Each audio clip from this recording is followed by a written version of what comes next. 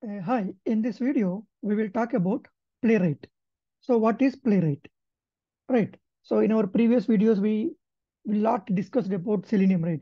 The same way Playwright is also a, an automation API, so which is developed by Microsoft and maintained by Microsoft and it is open source. The same way how Selenium is open source, Playwright is also an open source, but developed and maintained by Microsoft team. So what is Playwright? Right. We'll we'll see. We'll go to the official website and we'll see what is playwright and what options what features they have. So let's go to the official website. The official website is playwright.dev right. Playwright.dev so once you go here so this is the playwright enables reliable end-to-end -end testing for modern web apps. So they're saying playwright enables reliable end-to-end -end testing for modern web apps. So and it supports you see that Chrome, Edge, Firefox, Opera, Safari.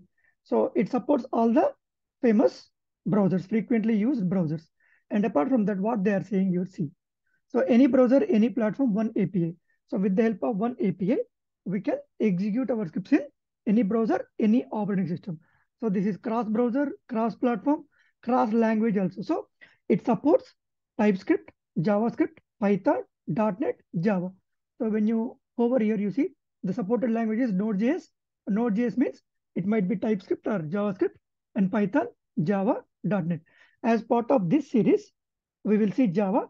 After that, we'll try to jump into uh, other languages also in the future.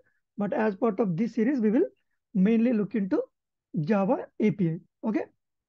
So resilient, no flaky tests. So it is saying that no flaky tests.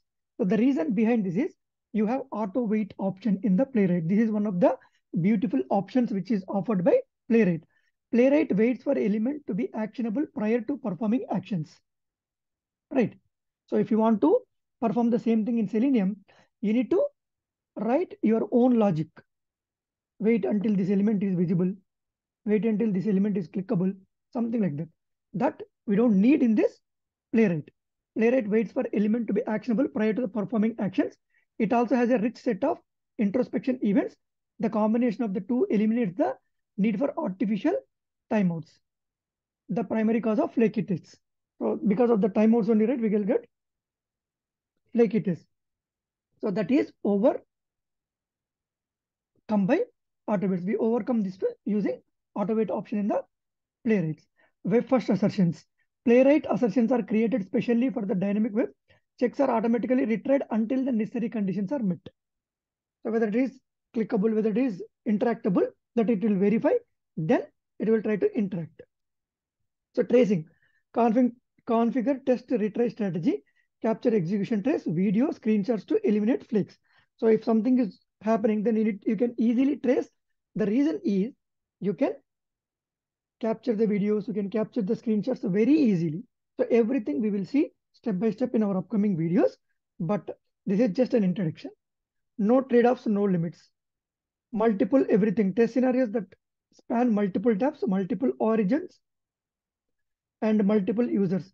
Create scenarios with different contexts for different users and run them against your server all it all in one test. So this is also one of the beautiful options available with Playwright. So you can open multiple browsers, multiple tabs, multiple pages, and you can interact with between these two browsers or tabs. So that we will take one of the beautiful examples called chart application automation. So there should be two people, right? So one people typing, then other people should respond. That person is typing, other person should respond. That also is possible with Playwright. So that we will see in our upcoming videos how we can achieve that with one beautiful example. I'll take one chart, uh, chart application. I'll try to replicate this scenario. Okay, trusted events, test frames, P, uh, pierce, shadow DOMs, rate selectors, freeze shadow DOM, and allow entering frame seamlessly. Means we don't need to switch to frame all these things. It will identify the elements that also we will see. Full isolation, fast execution, browser context. Every time it will open a fresh browser context. So browser context is equivalent to the brand new browser profile. This delivers full test isolation with zero overhead. So we will see what is browser context, how we can open that browser context or use browser context in our upcoming videos. So login once, save the authentication state. This is also one of the beautiful options. So you have multiple test cases.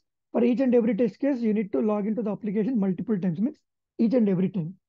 So you can eliminate that in Playwright. First time when you execute, you can save the state. And the next time, you don't need to open the login page, enter username, enter password, click on login button. We can avoid this, uh, what you say, like this overhead.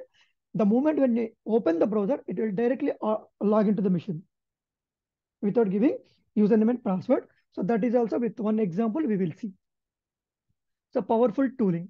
CodeGen generates tests by recording your actions. We have recording options also. We have playwright inspector. You can inspect the elements. So you have trace viewer, something like that. Okay. So these many options are available in playwright. So you have n number of options. Okay. You have n number of options.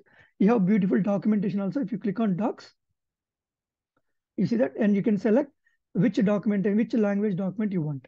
So click on Java. So you see that installation, test generator, auto waiting, assertions, authentication, browsers, dialogues, downloads, some frames, hand, handles, locators. So you have a number of options. So we will see one by one in our upcoming videos. And we have beautiful search option also here. You just click. See when I say screenshots, so the moment when I click on here, the typing, while typing on it will show screenshots.